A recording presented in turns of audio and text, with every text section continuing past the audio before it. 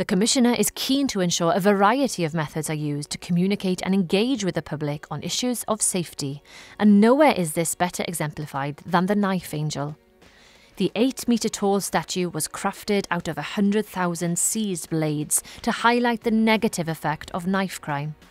Since 2018, the statue has been touring the UK, and in January it came to Newtown, its first appearance in Wales.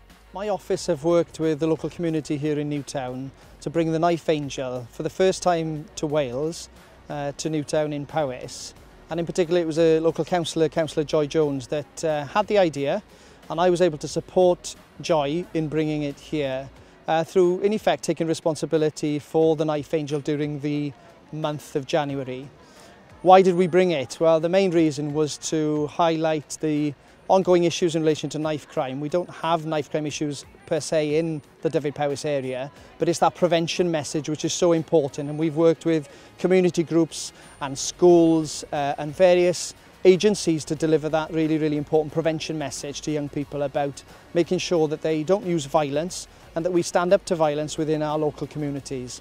It's been a great success and uh, I hope that there'll be a legacy now of the Knife Angel here in Newtown. The start of 2020 saw the arrival of COVID 19, a serious threat to our local communities. From day one of this pandemic, the Commissioner has worked closely with the Chief Constable to ensure Dyfed-Powys Police continues to deliver a police service which meets the needs of our communities.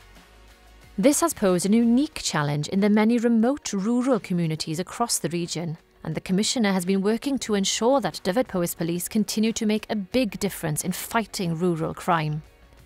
He's committed to supporting the rural crime team and welcomed the Chief Constable's recent promise to review rural policing resources.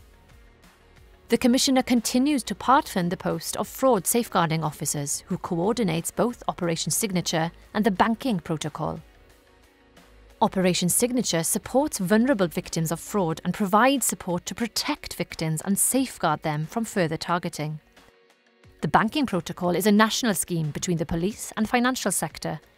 It aims to identify bank customers who are in the process of being victimised and to refer them on to Operation Signature.